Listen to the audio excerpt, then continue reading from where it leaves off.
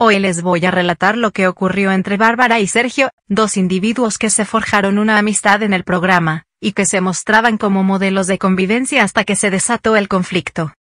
Todo se originó cuando Sergio le hizo un comentario a Bárbara que ella interpretó como una ofensa y una injuria. Según Bárbara, Sergio le dijo algo que afectaba su imagen profesional y su trabajo, y que además era falso.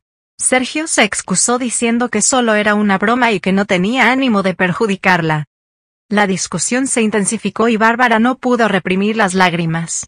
Ella le reprochó a Sergio que le había pedido a la audiencia que lo votara y que lo defendía dentro del programa, pero que él le había devuelto el favor con una traición.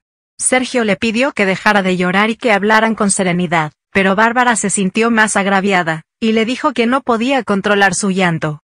La escena fue presenciada por el resto de los concursantes, que intentaron mediar y consolarlos. Al final, Bárbara le dijo a Sergio que le había dolido profundamente lo que le hizo, y que no quería seguir hablando con él. Sergio se quedó sin argumentos y se retiró. ¿Qué sucederá con esta pareja de amigos? ¿Podrán reconciliarse o se convertirán en rivales? ¿Cómo afectará esto a su permanencia en el reality show? Recordemos que el vencedor se llevará un premio millonario que podría cambiar su vida para siempre.